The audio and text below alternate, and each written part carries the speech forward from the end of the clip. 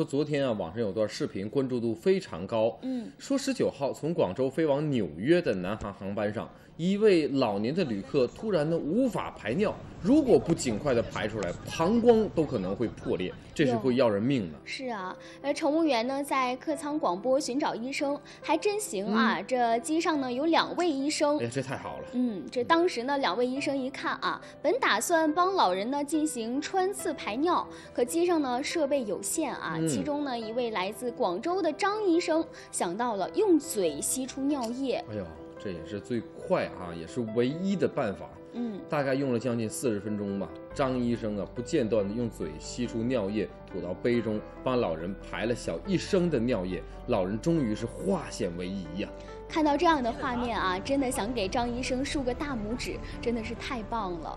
那事后呢，张医生也说了，用嘴吸尿呢，实属是无奈之女之之举啊。但当时的情况紧急，一时呢也想不到其他更好的方法了。嗯，这个只能说是天之所在哈、嗯人心人术，医者仁心呐、这真是令人佩服啊，真的是令人佩服。这样的医生，真的，我觉得应该给他一个大大的赞。是，我觉得真的啊，就是这简直是他可能当时的想法只有一个，那就是救人。对为了救人，他可以放下他很多的东西。嗯，